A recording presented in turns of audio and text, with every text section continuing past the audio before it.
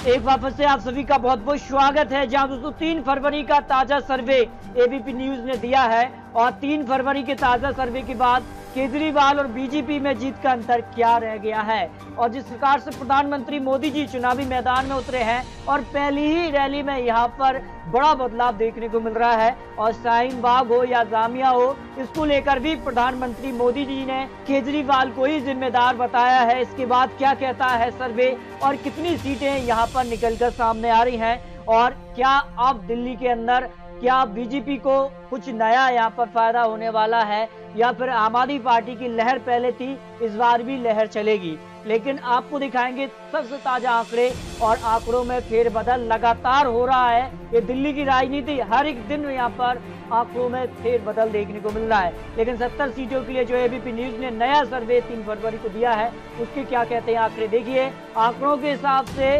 टक्कर करीब सर्वे ये एक मान रहा है कि जो टक्कर है, वो अब करीब हो चुकी है, यानी 50-50 तक अब ये टक्कर पहुँचने वाली है। आज के सर्वे में अंतर सिर्फ़ आठ फ़ीसदी का रह चुका है।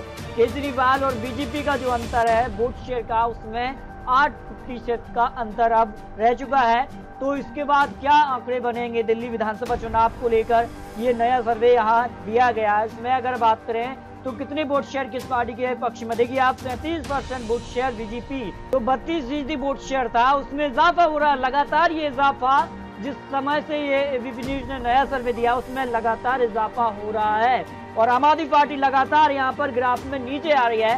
पैंतालीस परसेंट अब वोट शेयर आम आदमी पार्टी का बचा है। और कुछ दिनों में प्रधानमंत्री मोदी जी की और रैलियाँ यहाँ पर होने वाली हैं। और नीतीश कुमार हो या फिर यहाँ पर योगी आदित्यनाथ हो या अमित शाह ये सारे बड़े दिग्गज चुनावी प्रचार में उतर चुके हैं और लगातार कहीं न कहीं आम आदमी पार्टी को कमज़ोर बनाने के लिए पूरे प्रयास यहाँ पर कर रहे हैं। लेकिन अगर आंकड़े आपको दिखा दें, ग्राफ के थ्रू अगर आपको समझा दें तो आम आदमी पार्टी जो पहले सर्वे था इक्यावन फ़ीसदी वोट शेयर के साथ सबसे बड़ी पार्टी है और अभी भी बड़ी पार्टी है, लेकिन अब जो अंतर है, सिर्फ़ आप तीन फरवरी का देख सकते हैं। तीन फरवरी में जो अंतर है, सिर्फ़ पैंतालीस परसेंट सैंतीस परसेंट वोट शेयर बीजेपी के पक्ष में जा रही है। बड़ा यहाँ पर कह सकते हैं कि फिर बदल देखने को मिल रहा है, जिस प्रकार से ग्राफ नीचे जा रहा है। लेकिन क्या सीटों में बड़ा बदलाव होगा, इसके भी आंकड़े आपको दिखाएँगे। सीए कितना बड़ा मुद्दा चुनावी बना हुआ है। दिल्ली में दो तीन बड़े ही मुद्दे हैं, जो कि कहीं ना कहीं चुनाव को दूसरी तरफ़ पलट सकते हैं। इसमें से ये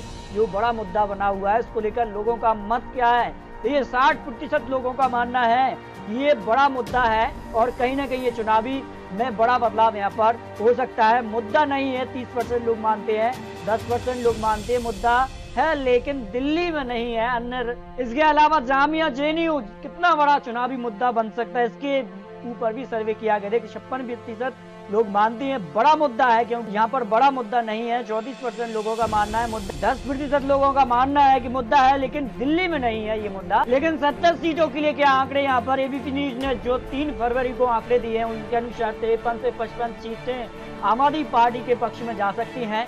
लेकिन बताया ये गया सर्वे के दौरान कि इन सीटों में बड़ा हेर फेर होने वाला है, जिस प्रकार से प्रधानमंत्री मोदी जी की तीन चार दिन में बड़ी रैलियाँ होने वाली हैं।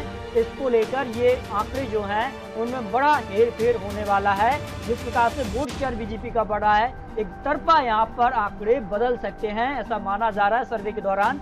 और 15 से 17 सीटें जहाँ बीजेपी सिर्फ़ आठ सीट ही पहले की सर्वे में दिखा रहे थे, लेकिन लगातार 10 सीटों का इजाफा हुआ है और पिछले और दिनों में ये सीटें बढ़ने की यहाँ पर आशंका यहाँ पर बताई जा रही कांग्रेस अपना खाता नहीं खोल रही इन सत्तर सीटों के लिए, जो यहाँ पर नया सर्वे यहाँ पर जारी हुआ है। लेकिन आपको क्या लगता है, दिल्ली में आपकी बार किसकी सरकार किसे कितनी सीटें जा सकती हैं? आने वाले कुछ और दिनों में प्रचार होंगे जिस प्रकार से और यहाँ पर चुनावी जो माहौल है वो बदल सकता है। यहाँ आंकड़े यहाँ पर अनुमान लगाए जा रहे हैं। लेकिन फिर भी आपकी जो भी राय हो कमेंट बॉक्स में दीजिए। और अगर आपने चैनल को सब्सक्राइब नहीं किया तो कर लीजिए ताकि आने वाली जानकारी का नोटिफिकेशन आपको टाइम टाइम मिलता रहे।